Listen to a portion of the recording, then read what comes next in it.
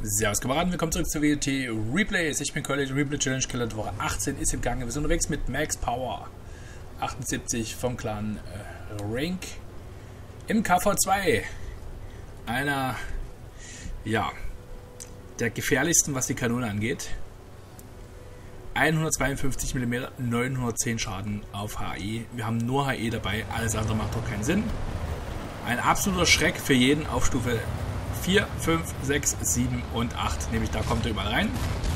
Selbst Achter scheißen sich ein, wenn die kleine stumme Kanone um die Ecke kommt. Ich habe den selber, ich mag ihn nicht besonders, weil die Kanone einfach zu lange reloadet. Aber auf einer Startkarte, und wir sind hier in Ensk auf einer Startkarte, ist das Ding einfach mal übel. Im Gegnerteam, ein OI ist der einzige Panzer, der kein One-Shot ist. Der Rest wird mit normalerweise einem Klick direkt in die Garage befördert.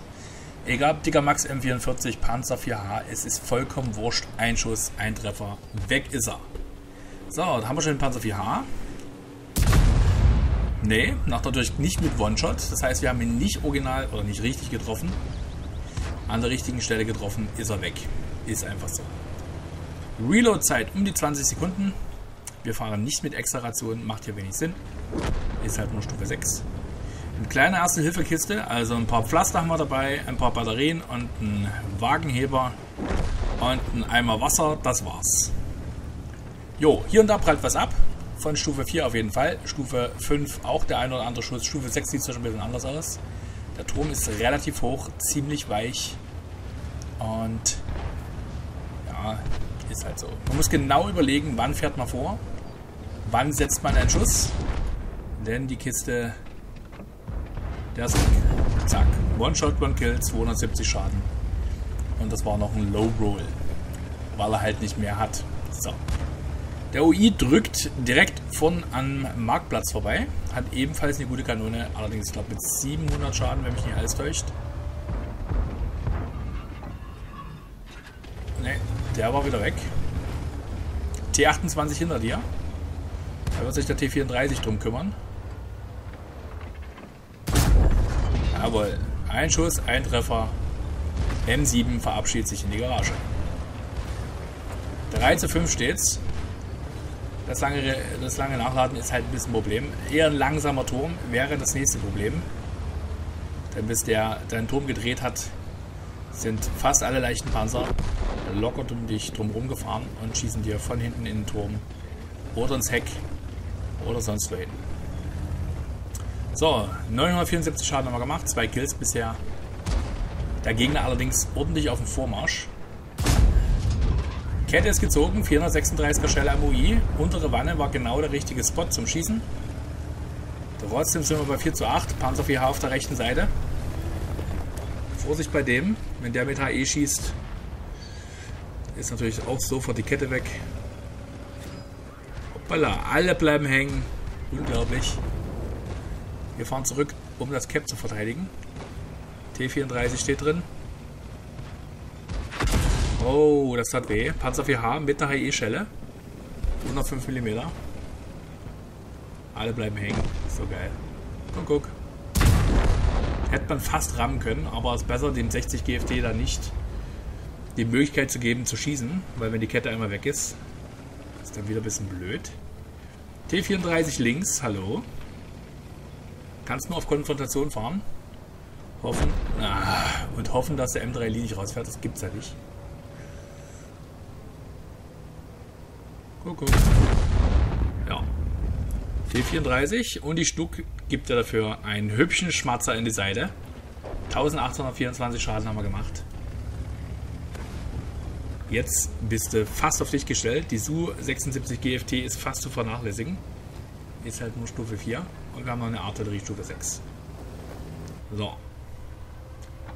Alle, die auf dem Spielfeld sind, sind One-Shot. Das bedeutet, du kannst dich hier richtig austoben. Wir haben vier Kills auf der Uhr. Es ist vom M44 noch ein bisschen was zu erwarten. Nach, äh, Einziehzeit irgendwas um die, keine Ahnung, ewig lang. Ach, Wahnsinn.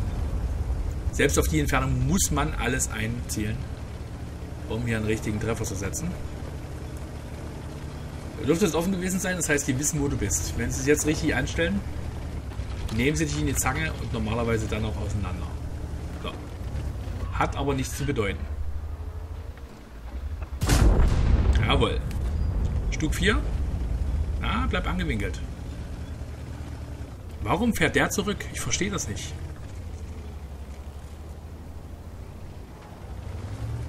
brauchst 20 Sekunden zum Nachladen. Das ist typisch, dass die Leute nicht wissen, mit was für einem Panzer sie selber fahren und gegen was für Panzer sie hier antreten. Der zieht sich zurück, von rechts ist der 38 NA. Und tschüss, T40 ist raus. Na, muss Premium schießen oder drum rumfahren und hinten rein. Das geht nicht anders. Ein UI noch, ein AMX40, der ist auch recht langsam. Und der Panzer 38 NA. Da ist der AMX. Kommt genau richtig. Hallo. Und daneben, das gibt's ja nicht. Das gibt's ja nicht.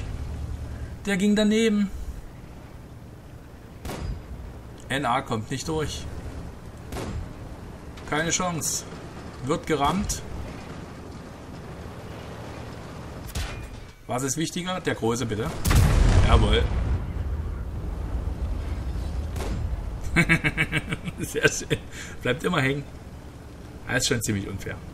Hat keine Premium-Munition dabei oder ich habe keine Ahnung. Aber das bringt nichts, mein Freund. Falls du es noch nicht gemerkt hast, du hast AMX 40 ebenfalls. Zwei Vierer, was sollen die machen? Ne? Ganz ehrlich. Du bewegst dich, wenn wir ganz ehrlich sind, hier allerdings raus aufs freie Feld und es gibt noch eine Artillerie. Die kann ich zwar nicht mit einem Schuss rauslöschen, eher mit zweien. Aber es ist schon ziemlich mutig, was du da machst. Ne? AMX40 ist noch. Da ist die M44. Jawohl, AMX40 geht direkt in die Werkstatt. 9 Kills, 2542 Schaden. Ich glaube, die M44 ist von der Geschwindigkeit her ähnlich schnell wie du. Das heißt, das wird jetzt ja ein Katz-und-Maus-Spiel. Wenn sie clever ist, versucht sie einfach nur vor dir wegzufahren und keinen Schuss mehr anzusetzen, weil es nichts bringt. Du löschst mit einem Schuss aus, sie schafft das bei dir nicht mit einem Schuss. Stufe 6 gegen Stufe 6, allerdings der eine fährt eine richtige Artillerie und der andere eine, die fast gerade schießt. Jo. 30 km/h. Das ist übrigens nicht die Top-Kanone. Top-Kanone hatte 107 mm, ähm, 167 Durchschlag und 300 Schaden pro Schuss. Macht allerdings wenig Sinn. Kann man sich auch einen T150 kaufen. Bringt dann ähnlich viel. So. Wir erobern die Basis. Wir erobern die Basis nicht. Wo ist die M44? Hat sich komplett zurückgezogen, oder?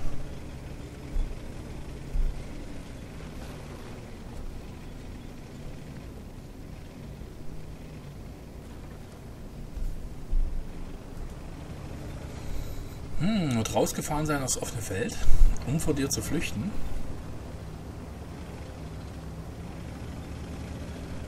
Bleibt auch nichts anderes übrig.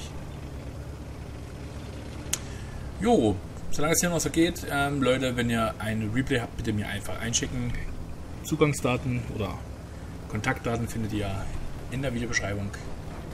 Ähm, muss kein Master sein, muss kein super wahnsinns geiles Top-Replay sein. Wichtig wäre, dass es euch Spaß gemacht hat und dass vielleicht das ein oder andere spektakuläre, spektakuläre ähm, ja, kleine spektakuläre Begebenheit dabei ist. Wie gesagt, Master ist nicht Pflicht.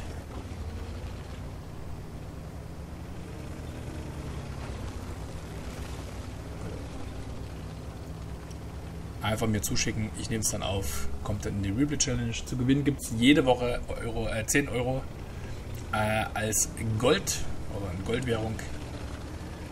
Und ja, was man braucht man dafür? 120 Aufrufe bei YouTube und man muss die Replay Challenge gewinnen. Das heißt, die meisten Klicks aufs Video zählen und die meisten Likes. Das heißt, Likes zählen dreifach. Angenommen, man hat 100 Klicks auf Video, reicht das noch nicht, um die Rebuild Challenge zu gewinnen. Man braucht mindestens 120 und hat 10 Likes. Likes zählen dreifach Das heißt 30 und 100 macht 130. Jo. Genaue Beschreibung, wie gesagt, gibt es unterhalb vom Video, beziehungsweise bei mir auf dem Kanal. Einfach reinschauen. Wenn es noch Fragen gibt, mich anschreiben. Ich schreibe irgendwann zurück. Hey. So. M44, wo bist du? Zeig dich, zeig dich, zeig dich. Das kann ja nicht ewig so weitergehen. Da ist sie ja. Sag kurz Hallo. Nein. Die wird ja gleich eine Stelle verpassen, denke ich mal. Jawohl. Wir können alles reparieren. Wir können die Besatzung zurück ins Leben rufen.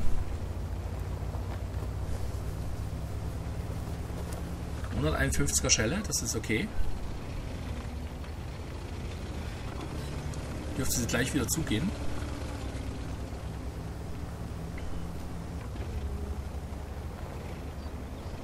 Einfach durchfahren.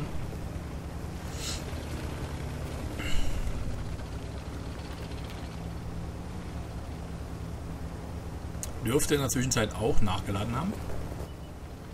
Da ist sie. Und tschüss. Flink ist sie, ja. Hat dir aber nichts genützt. 2800 Pool, jawohl. Die hast du dir verdient. Die hast du dir verdient. Schauen wir uns mal an, wie die Kiste früher ausgesehen hat. Da steht da. Kurze Kanone, relativ ungenau. Liegt unter anderem auch an der Rohrlänge. Da steht er in der Familie. KV2, KV1. Und hier ist auch noch irgendwas. Hübsch, hübsch, hübsch. Auswertung. Top Gun, High Caliber, Stahlwand, okay. Stahlwand mit dem KV2 ist auch nicht unbedingt Standard. Defender, Kolobanov und eine Pool. Oh, alter Schwede, so viel Lametta. Hier ein bisschen Gedöns und Gezuppel. Und ein hübsches M. Wenn das nicht verdient ist, weiß ich auch nicht. 1627 HP. Mit einem 6er in einem 5er Gefecht mit 4er Beteiligung. Ja, das ist ordentlich.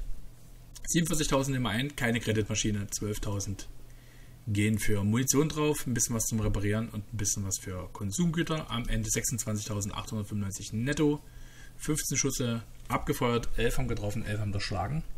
Weil das halt so bei der langen Nachladezeit, jeder Schuss, der daneben geht, ist in der Regel gefährlich für dich, wegen den 20 Sekunden Nachladezeit. Jo, wenn es euch gefallen hat, wie immer fleißig drauf beim äh, draufklicken, Like da lassen, Abo für meinen Kanal, ich würde mich darüber freuen. Ich hoffe, wir sehen uns bald wieder und ich bleibe bis dahin natürlich für immer Keule. Macht's gut und ciao.